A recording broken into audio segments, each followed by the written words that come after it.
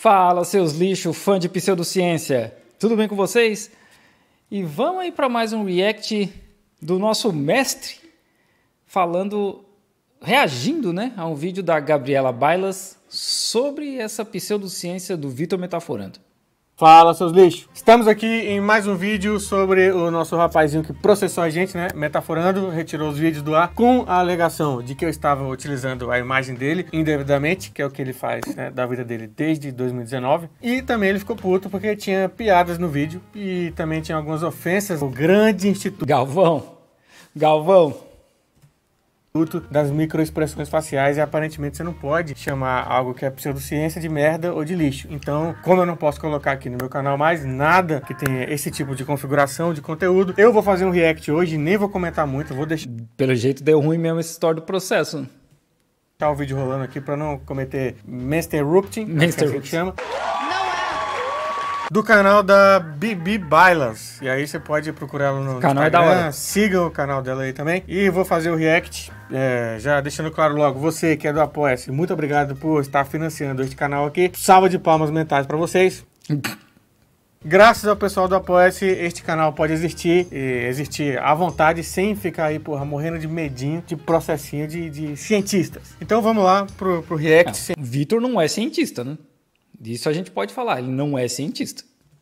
Sem mais delongas, que tem 27 minutos. Ô, eu louco, vou mano. assistir o vídeo novamente, inteiro, e peço a vocês que assistam comigo. Se você não tá com saco para assistir conteúdo científico, eu já digo que você é um otário, porque é bom você assistir também, tá? Eu nem vou fazer muita pausa aqui para fazer piada, só vou assistir o conteúdo, porque já que Metaforando retirou meus vídeos da internet com as alegações, coloquei um aqui, vou assistir agora um que não tem nenhuma das alegações que ele tá utilizando para me censurar. Até porque quem tem, tem medo. Eles não querem gastar mais 100 conto, 100 mil reais de, de indenização. Então esse vídeo ele não vai poder tirar do ar. E também já gera mais visibilidade para criador do canal Física e Afins. Olha só, E é sempre bom a gente entender o que é pseudociência, né? microexpressões faciais são essas expressões que duram menos de um segundo, meio segundo, vamos colocar assim, que é uma levantada de sobrancelha, uma franzidinha na boca, etc, etc. E algumas pessoas entendem que essas microexpressões faciais estariam relacionadas com os nossos sentimentos no momento, tipo felicidade, tristeza, nojo, raiva, pipipi, popopó. E aí, da onde surgiu essas microexpressões faciais, tá? Elas surgiram lá muito tempo atrás, tá? Surgiu lá desde Darwin. Vamos falar de Darwin, que aí andaram falando de Darwin, vamos falar de Darwin. Darwin, ele começou a relacionar as emoções dos Cachorro. animais com certos movimentos faciais. Isso há muito tempo atrás. Darwin, ele fez mais descrições. Não foram experimentos testados com hipóteses, não. Ele fez um livro, fez uma descrição. Aí as coisas foram evoluindo, outros cientistas foram chegando, foi relacionando também que emoções estariam mais ligadas ao nosso contexto cultural. E aí as coisas foram evoluindo até a gente chegar nos anos 70 com Paul Ekman, que é sim o cara das microexpressões faciais. Por que, que eu tô falando rápido essa primeira parte? Porque o foco do vídeo é microexpressões faciais. Então eu só quero contextualizar que é uma coisa que vem lá de Darwin e foi evoluindo com a ciência. Aí lá nos anos 70 chegou no Paul Ekman. Depois do Paul Ekman foi evoluindo, evoluindo e a gente vai falar nesse vídeo aqui também o que, que aconteceu depois de Paul Ekman. Cara, depois de Paul Ekman, todos nós sabemos que chegamos ao, ao advogado de Paul Ekman, Vitor. Metaforando, né? Porque você não pode chamar os estudos de Paul Ekman de, de bosta e de lixo, que ele te processa. Lá Na verdade, pode, né? A gente vai chegar talvez nesse ponto aí que a Gabriela tal, provavelmente vai chegar nessa pseudociência, que é lixo. Atrás, Darwin disse uma coisa que foi evoluindo. Assim como Dalton disse uma coisa na física que foi evoluindo. Beleza? A ciência é evolução. Tá? Não vamos nos ancorar lá no passado e nos agarrar que nem criança mimada para não soltar. Aquí tenemos a U20, miedo al chupacabras. Mesmo Eu gostei Eu gostei, eu gostei. Eu já tinha assistido, mas como eu tenho TDAH e minha memória é uma bosta, eu tinha esquecido que ela dá uma zoadinha também. Cuidado, hein? Isso aqui pode configurar você estar, porra, criticando os vídeos de metaforando. Cuidado, cuidado. Paul Ekman, lá nos anos 70, começou com pesquisas científicas sérias, onde ele tentou entender: existem emoções universais? Ele começou com sete emoções, que é alegria, tristeza, nojo, raiva, medo, surpresa e desprezo, que seriam as supostas emoções básicas lá nos anos 70. Hoje ele já não considera essas sete, considera cinco delas, mas tudo bem. Aí ele começou a fazer pesquisa, tentar entender se existiam é, emoções universais, e aí ele viu que o negócio dava grana. Não foi só ele que viu isso, né? Dinheirinho. Quem Ai, será que percebeu isso quem aí será, também, né? hein? Quem, quem Quem será? será, né? Não posso falar o nome, vou citar nomes aqui. Não quero Deixa ter... aí nos comentários quem vocês acham que é. Inclusive, lá eu vou eu porque eu esqueço, né? Já deixa um like aí, já compartilha o vídeo, escreve aí nos comentários. pagar mais 100 mil. Já Pô, segue o 200 canal mil de também. indenização é foda, hein? E aí ele deixou de ser um cientista e começou a se tornar o dono de um método que existe cursos, escolas, licenciados, certificados pelo mundo inteiro. E aí Paul Ekman deixou de fazer pesquisa como ele fazia antes para ganhar dinheiro. É, a gente vê isso aí nesses primo rico da vida que o trampo dos caras é vender curso. É o que mais tem na internet hoje em dia. O cara diz que é profissional de uma parada, mas em vez do cara trabalhar como profissional daquela parada, ele ganha vida vendendo, curso.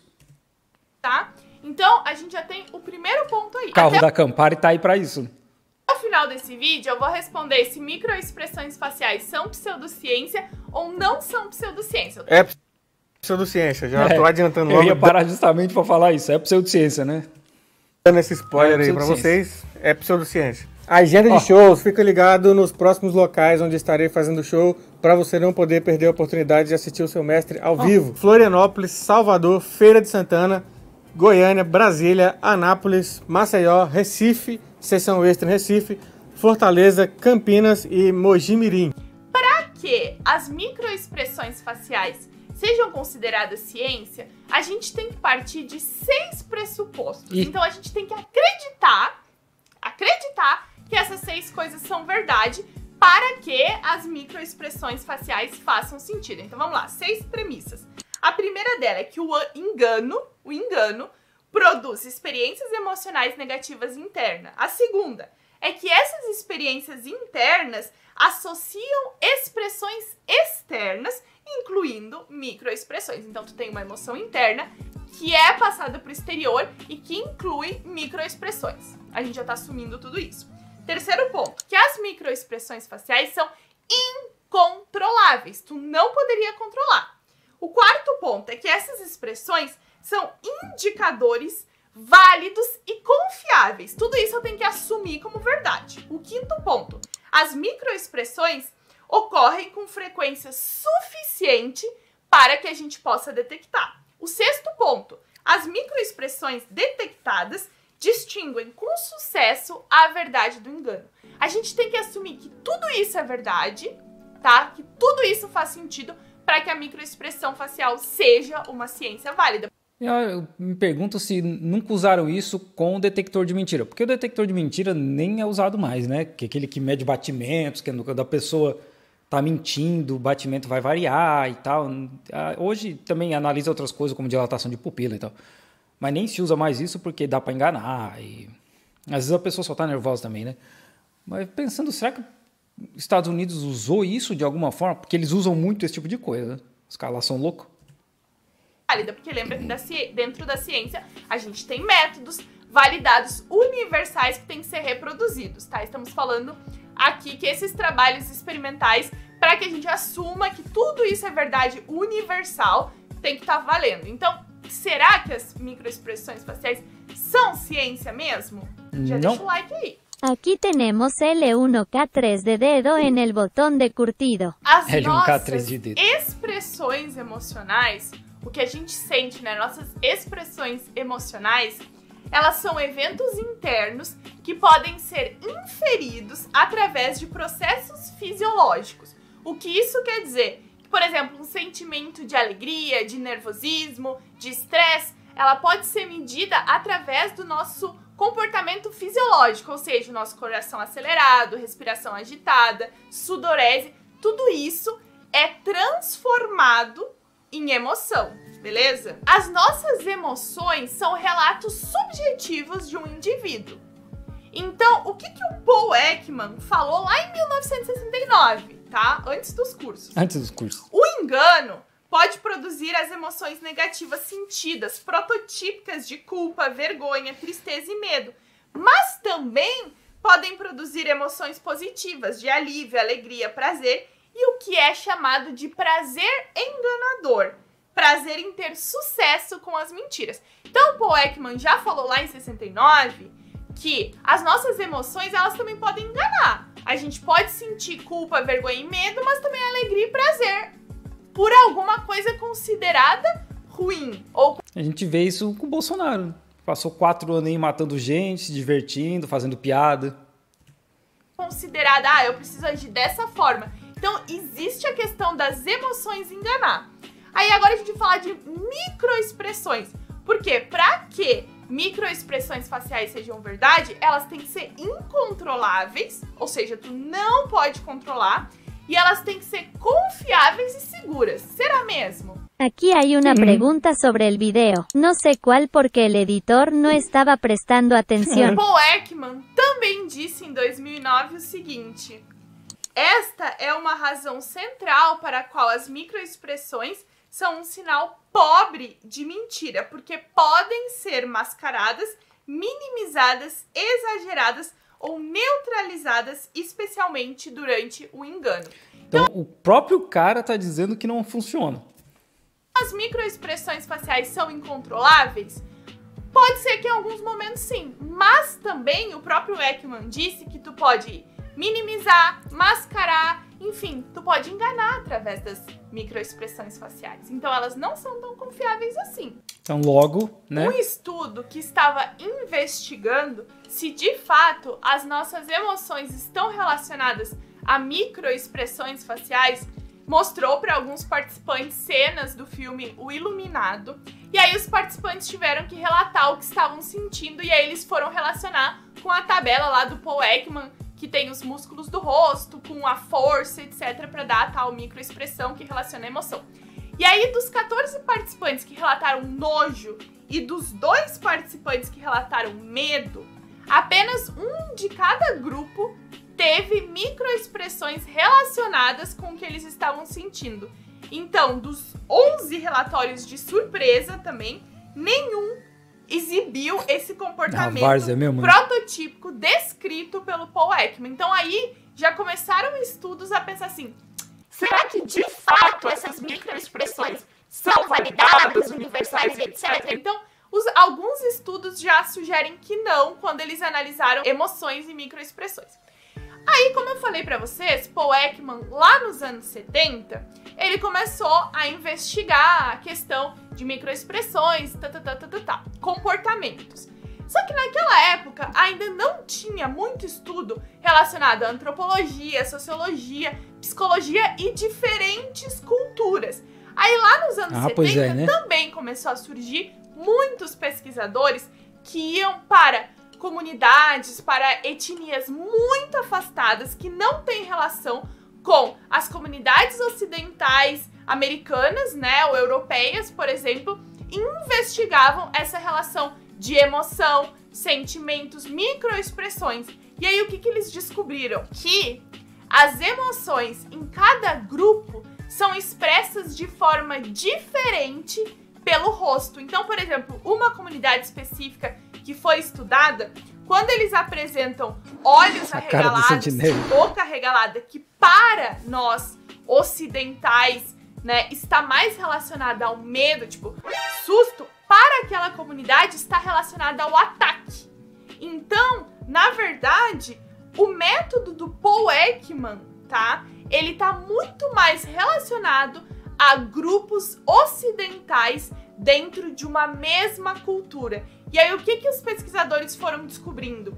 Com o passar do tempo, eles descobriram que as culturas vão expressar as suas emoções de formas muito diferentes da que foi estudada pelo Paul Ekman. Bora lá, mais uma vez. Microexpressões faciais, análise de microexpressão facial é uma bosta. É um lixo. Pseudociência. Pseudociência não funciona. É que nem homeopatia.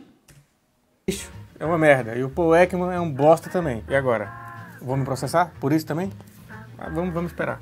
Ou Vamos seja, esperar. quando a gente afirma, só o fato de afirmarmos que uma microexpressão facial é uma ciência, porque ela é universal, tu já tá colocando ela dentro da pseudociência. Então eu acho que ela tá ali na linha entre pseudociência e ciência obsoleta. Ou seja, se você fica falando aí que você é perito em microexpressões faciais, é como se você falasse que você é perito em horóscopo, porque não vale de porra nenhuma. Ou homeopatia, né? Como assim? Ah, pior que tem homeopatia de animal de estimação, cara. É, é um, acho que é uma das coisas mais a gente, o ser humano, né? Botando robô em Marte e a a China aí planejando uma estação na Lua e fazendo homeopatia para cachorro, cara. Meu Deus do céu. Nos Estados Unidos eles usam Aí, ó. isso. Eu sabia, eu sabia. Se tem um lugar de maluco que eles usariam isso aí, é nos Estados Unidos.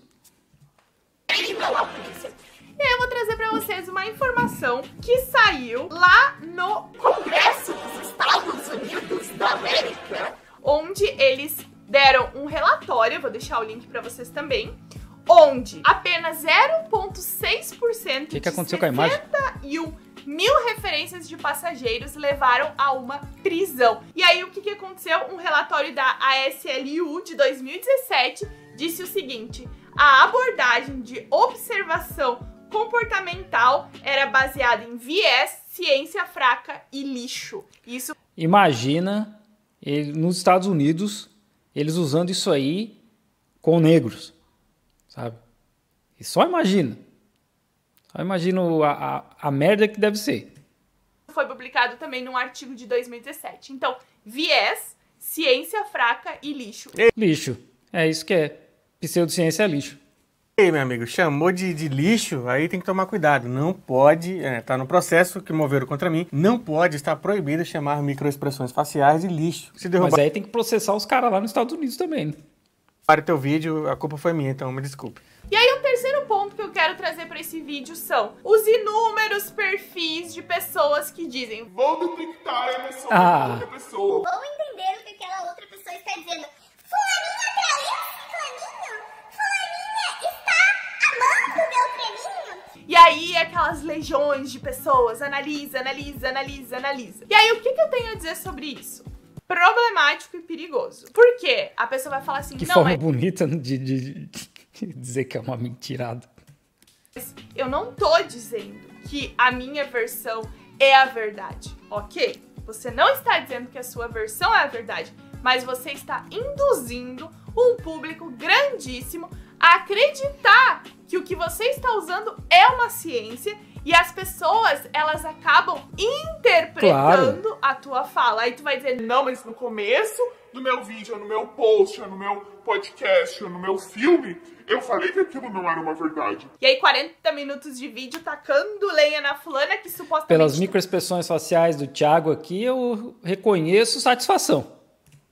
aí o ciclano, no Beltrano que tá com raiva do ciclano. E aí aqueles comentários descendo ódio. E tudo isso dizendo que é carimbado, né? Carimbo científico. Vou me é, eximir da responsabilidade, né? E vou tacar fogo nos outros. É isso que acontece nesse tipo de conteúdo. Ah, eu não tô responsabilizando ninguém, eu não tô falando que é uma verdade. Mas todo o público tá entendendo aquilo ali como uma verdade. Sem contar que o que me incomoda muito e principalmente é a análise de vídeos envolvendo crianças, envolvendo vulneráveis, Claro, né? envolvendo pessoas que passaram por situações horríveis, horríveis, tá? Que foram vítimas de crimes e principalmente discursos machistas, misóginos, tá? Esse tipo de coisa eu acho triste e eu já vi demais. Ah, vamos analisar a fulana que talvez traiu fulano e taca discurso machista. Então, o que eu tenho pra falar é, micro Ih, caralho, O que que deu?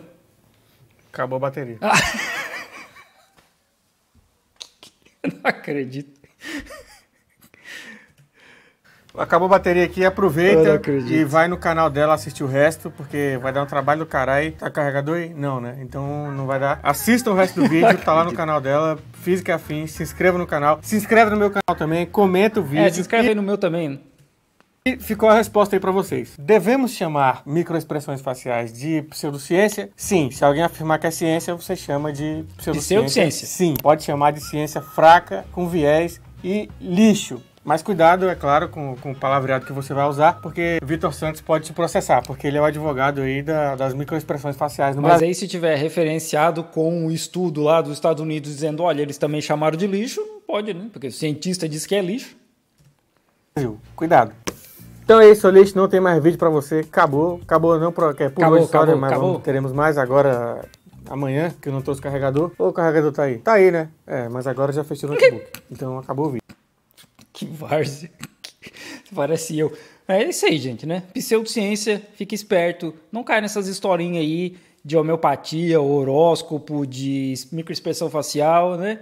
Vamos seguir os cientistas aí da internet, vamos começar a se informar pra gente não, não, não, não cair que não esses bocói, né?